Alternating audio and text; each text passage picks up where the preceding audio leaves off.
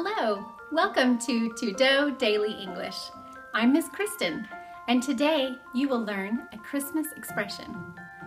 A white Christmas. A white Christmas. A white Christmas is a Christmas day when there's snow everywhere.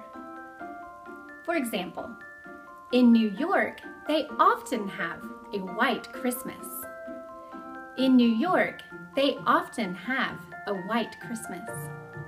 Thanks. Bye bye.